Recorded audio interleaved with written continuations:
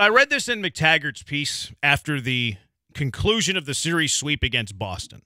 Martin Maldonado just talking about the offense because the offense was setting records, most hits in a five-game span in Astros franchise history. We've went on and on about this offense. Altuve, best offensive second baseman in the American League. Yordan, when he's clicking, maybe the best offensive player in baseball, one of the best offensive players in baseball. Kyle Tucker's playing. If it weren't for Shohei Ohtani, to a top three MVP level. Jeremy Pena's heating up. Brantley's back. Chas has been good. Like you can go on and on. Yainer's been one of the best offensive rookies in all of baseball. You can go on and on about this offense. It was just a matter of getting them all going at the same time. And for you know, five day five games in a row after you were one hit at Detroit, final two games of that series, the three games at Boston, the offense is clicking. The offense looks good.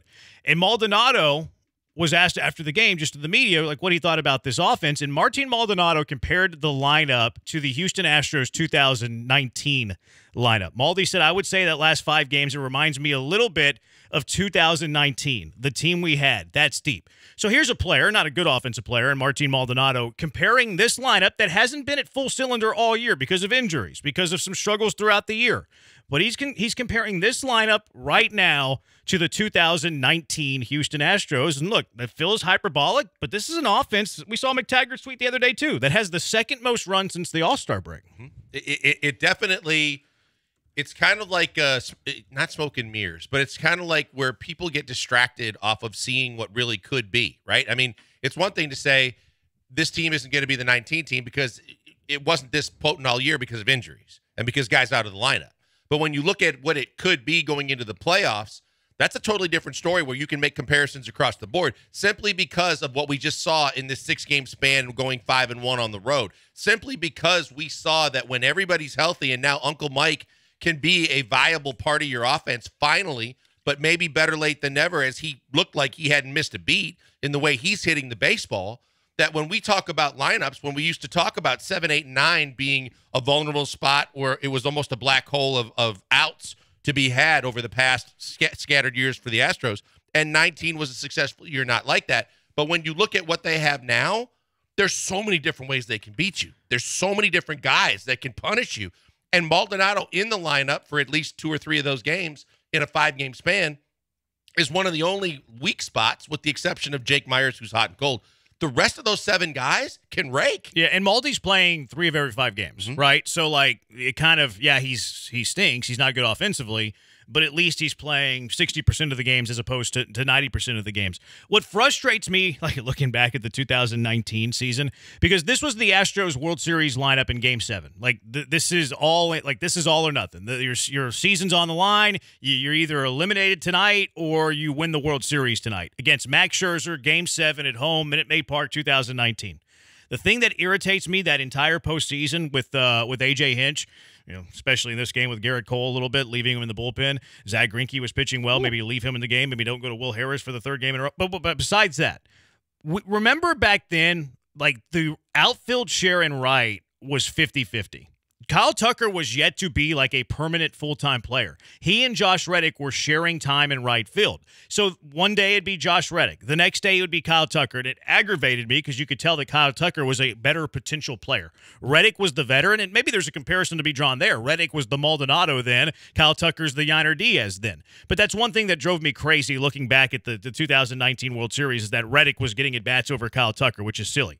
But here was the Astros Game 7 lineup in 2019. and, and see how this year's lineup stacks up. And we don't really know like this set lineup currently for the Astros. You know that Altuve, Bregman are going to be at the top. You know that Yordan and Tucker are going to be in the middle. You throw in a Chas, you throw in a Yainer, you throw in an Abreu. It kind of changes every day, which I don't care. I'm not a huge like you need the same batting order every single day. You know, play your best players against lefties, against righties, whatever.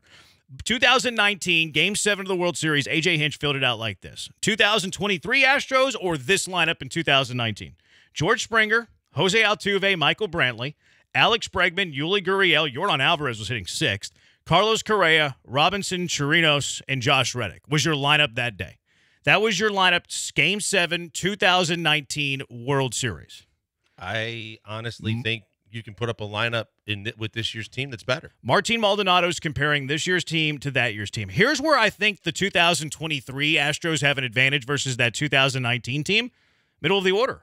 Like you had Brantley, Bregman, Yuli in the middle of the order, and Brantley, great contact hitter. We know that he's going to have tons of base hits and get on base a lot. Not a terrific power guy. Alex Bregman was hitting home runs back in 2019. Good power guy. Yuli Gurriel, he'll, he'll, he'll run into some home runs. Back then, he was hitting 25 home runs a year, somewhere around there. Was a very good contact guy in 2019. I'll take this year's middle of the order over that year's middle of the order. And I know that you had Yordan Alvarez, but Yordan Alvarez in 19 was not the Yordan Alvarez that you have now. You had Kyle Tucker, but he was on the bench in that game, and he's certainly not the Kyle Tucker that he is now. The middle of this lineup, whenever you're going out every single day, where you're going Yordan, Tucker, whatever combination, 3 4. I'll take over, you know, Brantley, Bregman, Yuli Gurriel back then. Now, this top of the order in 19, I don't know. Like Springer Altuve, you still have Altuve, who's kind of the same yeah. guy, and you have Bregman, who's been on a red hot tear since the All Star break. I don't think Martin Maldonado's wrong. You know, I think it can compete. It really can, and that's why when you were reading off, especially if we're just going to go off the Game Seven lineup, I think this year's team is better because I think that you know it depends on which George Springer you're going to get, and he could get really super hot, or he could he could go through a slump. You know, and we know that he got hot at the right moments in 17 in the World Series.